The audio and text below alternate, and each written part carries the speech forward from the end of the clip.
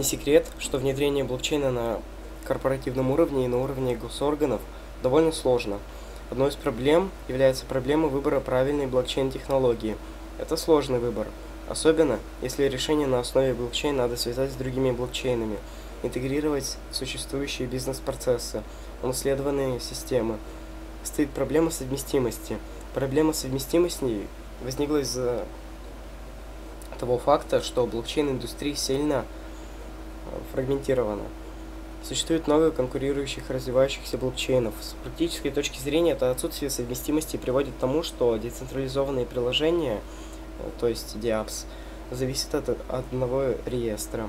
Стоит отметить, что с трудом можно достичь взаимодействия между приложениями из различных сетей но на одном блокчейне, но взаимодействие между приложениями на различных блокчейнах сейчас, увы, невозможно. Overledger – это запатентованная операционная система для блокчейна, которая способна брать и обрабатывать данные из любого блокчейна, а также отдавать данные в любой блокчейн. Это позволяет DApps обмениваться информацией, хранящейся в различных распределенных реестрах, то есть DLT, совместно использовать информацию. Для достижения такого уровня совместимости и горизонтального и вертикального масштабирования Overledger делит блокчейн-архитектуру на следующие уровни. Уровень транзак транзакций. Этот уровень хранит транзакции, которые добавляются, сохраняются и помещаются в очередь в реестре. Он включает в себя все операции, необходимые для достижения кон консенсуса в различных блокчейнах. Уровень сообщений. Это логический уровень, потому что вся необходимая информация извлекается из реестров. Информацией может быть данные транзакции, смарт-контракт или метаданные. Создана адаптивная система обмена сообщениями, которая может обрабатывать большие объемы данных на многих узлах сети.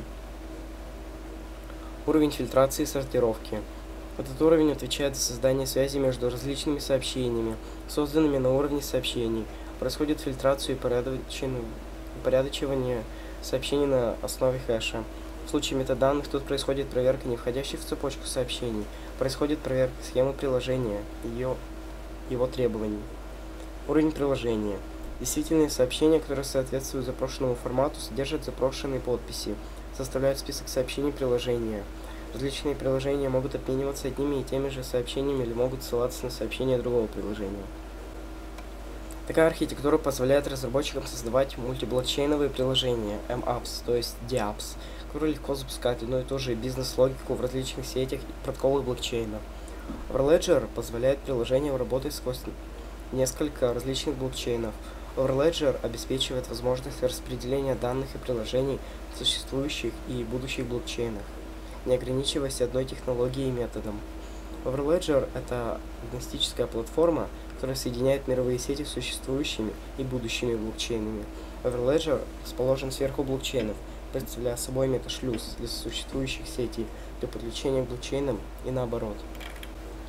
Цели – это создание возможности взаимодействия между DLT, а также между DLT и существующими сетями и корпоративными системами. Создание экосистемы мультиблокчейновых приложений. Подключение интернета к блокчейну через Overledger.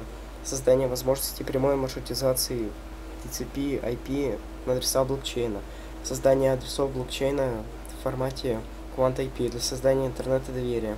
Создание базовых интернет-приложений на Overledger создание идентификаторов Quant-ID поверх Quant-IP для использования людьми при совершении транзакций, способствование массовому внедрению блокчейн.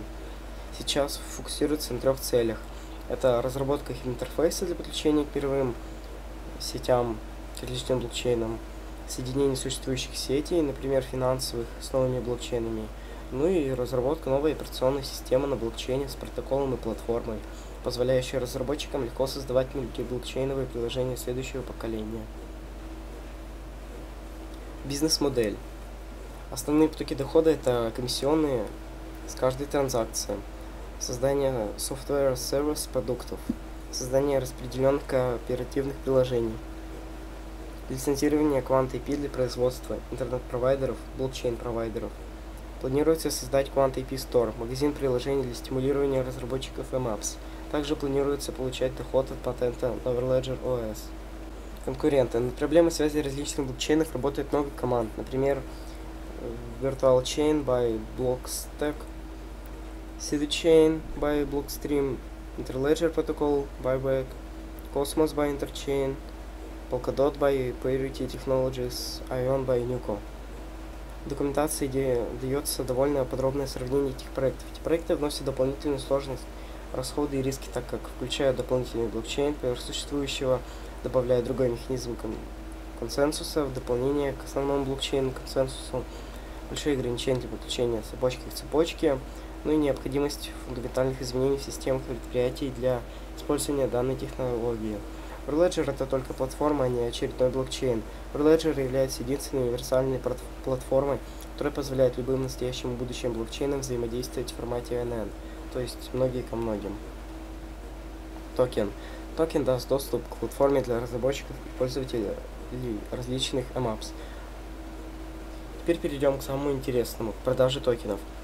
Всего предполагается 31 миллион токенов. На преселе было успешно продано 15 миллионов токенов по цене около 1 Этериума, равно равному 687 токену.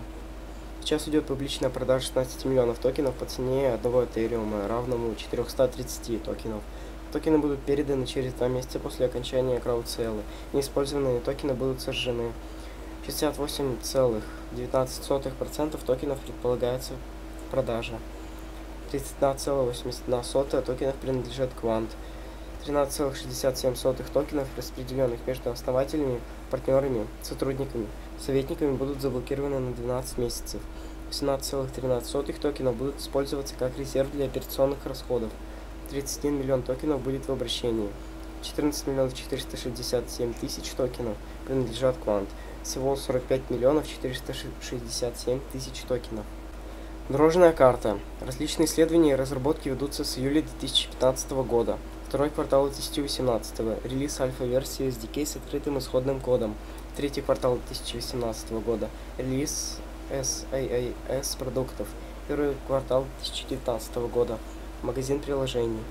Команда. От команды у меня довольно хорошее впечатление. Все члены команды с солидным бэкграундом в различных областях. У них имеется опыт работы в госорганах, в госорганах и, и крупных компаниях. Вот, например, основатель Гилберт Верден имеет 20-летний опыт работы на различные правительственные организации, крупные компании, в том числе транснациональные, имеет опыт работы в ФРС, Федеральный резерв США, сейчас также на него работает. Является основателем блокчейн-стандарта ISO TC307. В настоящее время он является председателем Национального комитета Великобритании по блокчейну. Все члены команды из Лондона. Ну а на этом я бы хотел закончить. Всем спасибо за внимание. До новых встреч.